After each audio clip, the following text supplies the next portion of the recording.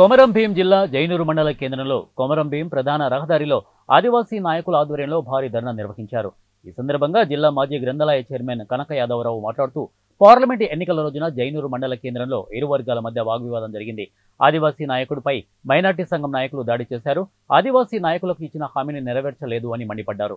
మూడు వందల మందిపై కేసు నమోదు చేశామని తెలిపిన డీఎస్పీ ఇప్పటికీ జైనూరు నుంచి ఇరవై మందిని తీసుకెళ్ళి మిగతా వారు జైనూరు మార్కెట్ సముదాయంలో దర్జాగా తిరుగుతున్నారు. కాబట్టి వారిని వెంటనే అరెస్ట్ చేయాలని డిమాండ్ చేశారు.